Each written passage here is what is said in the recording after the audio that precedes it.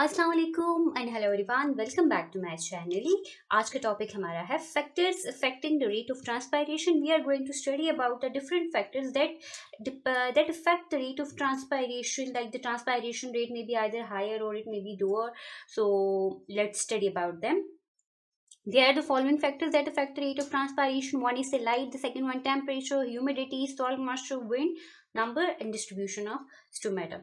Study, let's study about the light. What is light? जो रोशनी आपको सूरज से आ रही है the rays that is coming from the sun is known as light so light directly controls the opening and closing of stomata.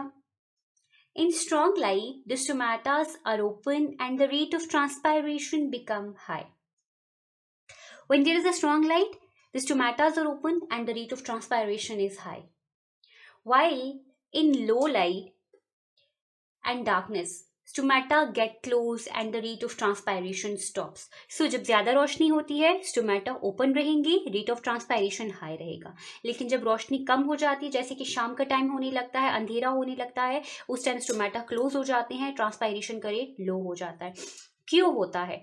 क्योंकि in the presence of light photosynthesis हो रही है। Guard cells के बारे में आपको पिछले लेक्चर में हम लोग स्टडी कर चुके हैं कि गार्ड सेल्स में क्लोरोप्लास्ट प्रेजेंट है क्लोरोप्लास्ट में फोटोसिंथेसिस का प्रोसेस होता है। तो फोटोसिंथेसिस का प्रोसेस करने के लिए राइट लाइट की रिक्वायरमेंट है। जब फोटोसिंथेसिस का प्रोसेस होता है ग्लूकोज फॉर्मेशन होती है सिल्यूट कंसेंट्रेशन हाई होती है तो गार्ड सेल ओपन रहते हैं तो ट्रांसपायरेशन का रेट भी हाई होगा। लेकिन शाम होते ही लाइट कम पड़ जाती है और ट्रांस फोटोसेंटेसिस का प्रोसेस कम हो जाता है तो स्टोमेटा क्लोज हो जाती है ट्रांसपायरेशन का रेट भी कम हो जाता है। इसी तरह टेम्परेचर की बात करते हैं। लाइट एंड टेम्परेचर बहुत आर डिफरेंट ओके तो टेम्परेचर की अगर बात करते हैं कि जब टेम्परेचर राइज हो जाते हैं there is the rise in a temperature water evaporates more rapidly so the transpiration rate increases and at lower temperature the rate of transpiration is low कि जब टेम्परेचर ज़्यादा है ट्रांसपायरेशन का रेट इसलिए ज़्यादा हो जाएगा क्योंकि वो टेम्परेचर जो होता है वो एवोपोरेशन करने में हेल्प आउट करता है। वाटर ज़्यादा से ज़्यादा एवोपरेट करेगा तो ट्रांसपायरेशन ज़्यादा हो जाएगी।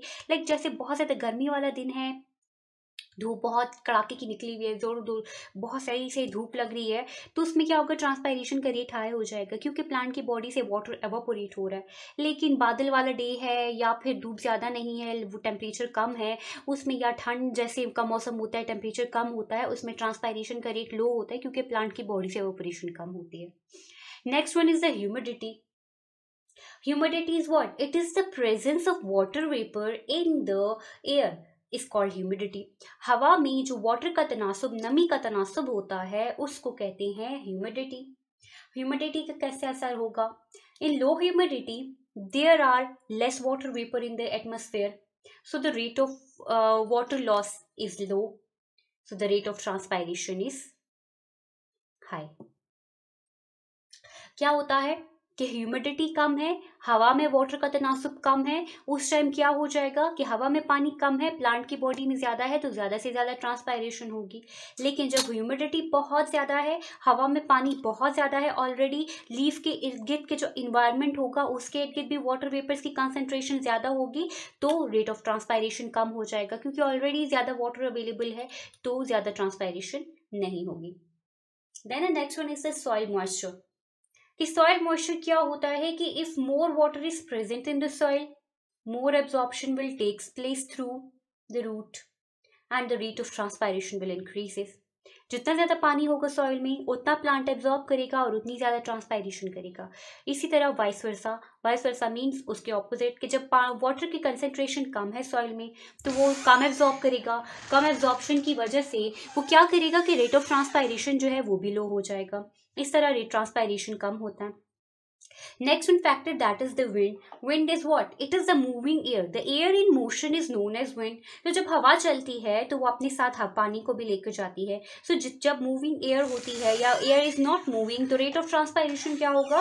वो लो होगा। कहते हैं कि if the air is not moving the water molecule transpiring out of the stomata remains in the surrounding air which become humid it stop the molecule to come out and the rate of transpiration is reduced.